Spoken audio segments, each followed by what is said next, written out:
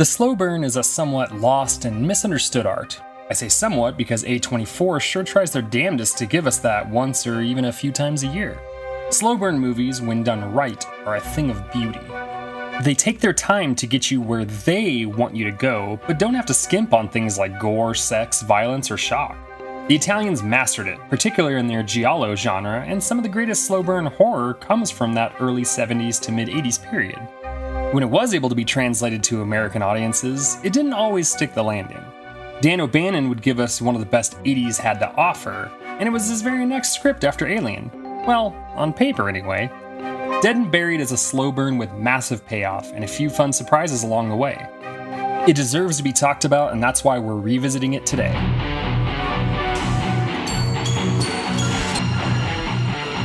Nice hearing from you, Carlos. Well, as I said before, a lot of the advertisements and even the general public attribute this to Dan O'Bannon, but he claims that nothing he contributed was used in the final product. One of the taglines even says, From the The creators of creators of Alien Alien." bring a new terror to Earth. Terror brought down to earth. Dead and buried. Fear. So Great way to grab attention, but this is also really misleading. To talk about Dan like I normally would when discussing the cast and crew feels just as disingenuous as his name on the film he so despises. I think he's way off base here, but I get why he hates it from a personal standpoint while being unable to appreciate it from an art perspective. The other credited writers are story guys Alex Stern and Jeff Millar, and Ronald Shusett being the credited writer along with O'Bannon, though we know that to be just publicity. Stern and Millar are only credited with this movie, not just writing, but period. Shusett is the reason why that Alien Creators tag still fits because he was credited for story on the first film. While most of the rest of his IMDb is just crediting him for characters and other Alien properties, even video games, he did give us the screenplays for King Kong Lives, Total Recall, and Above the Law. That's still a very solid list. Director Gary Sherman, who actually wanted the movie to be far more along the lines of a dark comedy, started his feature directing career with Deathline in 1972, which is also sometimes known as Raw Meat. He would go on to direct the way too fun Vice Squad and the much maligned Poltergeist 3. This strange combination of talent behind the camera would give us one of the best and most underdiscussed horror movies of the decade. The movie opens on a wonderful black and white credits sequence, something that plays with the theme of the movie, followed by a transition to color where we're greeted by a beach and a photographer who is looking for the perfect scenic shot. That shot is something you can find almost anywhere in the scenic and rustic small town of Potter's Bluff. Small towns like this in horror movies just work. It feels very similar to the previous year's Antonio Bay, where the fog rolled in, and in fact, both movies are part of Avco Embassy Pictures. They had award winning stuff like The Graduate, but also pumped out amazing genre things like the two previously mentioned films and the timeless Escape from New York. Our photographer Freddie runs into, let me check my notes here, Girl on the Beach, who later becomes Nurse Lisa. He thinks he's going to get laid, but then the rest of the town of voyeurs welcomes him to Potter's Bluff, and he's instead laid to rest. Sheriff Dan Gillis is called to the scene of a vicious car wreck, and Freddy frickin' Krueger is on the scene to assist. I guess even though there's drama behind the scenes with O'Bannon and the director wanting more of a black comedy than horror, Englund really likes this movie. It's one of those roles he was allowed to get lost in rather than just be seen as Freddy, something that studios didn't want much of after 1984. Of course, he wasn't Freddy yet, but you know what I mean. Gillis is played by James Farentino, who was a TV mainstay from the 60s really up until his death in 2012. The other horror genre things he showed up in were two episodes of Night Gallery and The Final Countdown. As Gillis and Harry are checking the car, the town mortician can be heard pulling up by the big band music playing out of his car. Out of that car steps William G. Dobbs, who is played by none other than Grandpa Joe. This would be Jack Albertson's last movie as cancer was ravaging his body. He was able to make it to the premiere to see the movie on the big screen though, but he passed away shortly after. I love Willy Wonka, but this is my favorite role for him, and it's a good one. The Oscar winner didn't do much horror at all, but he did show up for Rod Serling in both Twilight Zone and, again, Night Gallery. Go watch Night Gallery, it's really good. They reach for the body of the crash victim, who we learn later to be our guy Freddy, and we see the final star of the show. No, not the body. Well, yeah, yeah, actually the body. The makeup effects were done by Stan Winston well before he was an Oscar winner or really broke out big, even though he'd been working for almost a decade prior. The stuff here is glorious. From the bodies to the way people are dispatched and everything in between. The body screams, and the somehow surviving burn victim is taken to the hospital.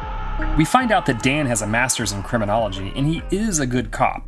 He goes above and beyond to investigate and is smart for a main character, even if he does think more with his heart than his logical brain sometimes. Dan does some investigation as another person is killed by the mob of Potter's Bluff. Dan learns that the guy fighting for his life in the hospital went to see his wife, but it turns out that was just to buy camera equipment for the school, something the principal dispels later. We didn't buy it at all. Is it possible this is a transaction you didn't know about, sir? I know everything that's done at the school. I am principal. Freddy is killed with an awesome special effect, and then the cycle of death takes over again, this time with a twist. A family of three is killed by the mob, but it now includes Freddy, who is free and clear of any injury or apparently memory of his death. What is going on in this town the size of a postage stamp, as Dan says? We get somewhat of a red herring with a voodoo angle that Dan's wife is teaching in school, and maybe for something more. The hotel owner reports to Dan that Freddy is back at the gas station alive and well, and we see the young boy who was just killed with his family also in Janet's class. Janet is played by Melody Anderson, who was just in a major flop Flash Gordon the year before. Another murder happens, and this time we see the magic in another show stopping effect.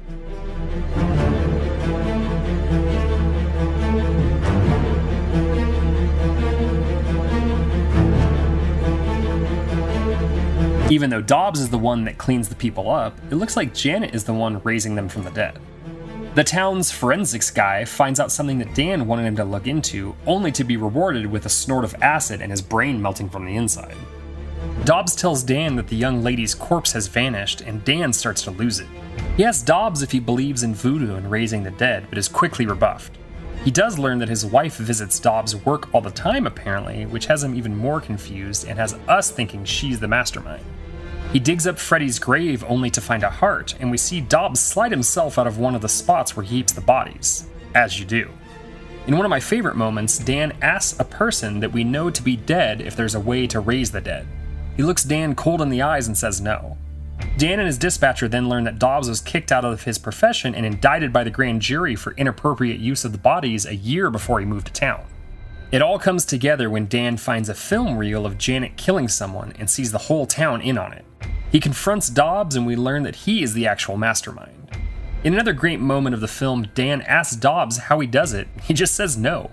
Call it black magic or a medical breakthrough, but he'll take it to the grave. I'll take my secret to the grave. He can bring anyone back and give them only the memories he wants them to have. Dan is going to kill him, and we get another four star line in You can't kill me, you can only make me dead. Can only make me dead. Janet comes in like a weird Stepford wife, and Dan ends up shooting her. It awakens something in her, and she tragically knows she's dead now and just wants to be buried. She walks out, and Dan shoots Dobbs too. Dan follows Janet to the graveyard and helps her bury herself while the whole town reveals themselves to Dan, and Dobbs patches himself up. Dan heads back to Dobbs and he shows him the full reel. This time, he watches his own body being revealed as the one that Janet stabs.